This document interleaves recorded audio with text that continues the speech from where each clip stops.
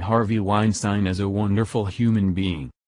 A recently rediscovered video from a 2013 White House event is not aging well for Michelle Obama. It shows the former First Lady praising Harvey Weinstein as a wonderful human being, although we now know the Hollywood producer has had a long, and well-known, history of harassing women. The video is featured below. Weinstein's behavior was revealed in a report by the New York Times on Thursday and the longtime Democratic supporter has seen the politicians he has supported throw him under the bus. Nearly every Democrat he has ever donated to has announced that they are giving the money he donated to charity. There are two notable exceptions, however, Hillary Clinton and Barack Obama have yet to address the scandal, or announce that they are giving his donations away. You can read more about that by clicking here.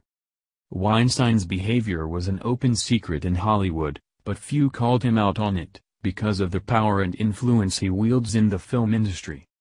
That makes the video from the 2013 event even more disturbing, in which Michelle Obama is hosting film students along with a number of Hollywood types, including Whoopi Goldberg and Blake Lively.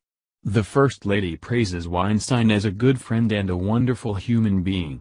The remarks were not just empty praise for a speech. Malia Obama actually interned for Weinstein this year, in his production office. Fox News reports on the video.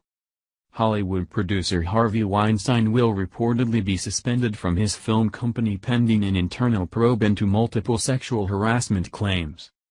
This comes after the New York Times reported Thursday that Weinstein has reached at least eight legal settlements with women over alleged harassment. In the wake of these allegations, a video is making the rounds, showing former First Lady Michelle Obama praising Weinstein as a wonderful human being and a good friend at a student film symposium in 2013. I want to start by thanking Harvey Weinstein for organizing this amazing day, Obama said at the Careers in Film Symposium at the White House.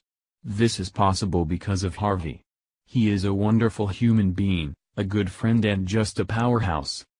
And the fact that he and his team took the time to make this happen for all of you should say something not about me or about this place, but about you, she continued. Weinstein reportedly had a close relationship with the Obamas, visiting the White House 13 times between 2010 and 2014, according to visitor records. Thank you for watching this video. What do you think about this? Share this on Facebook and Twitter along with your comments.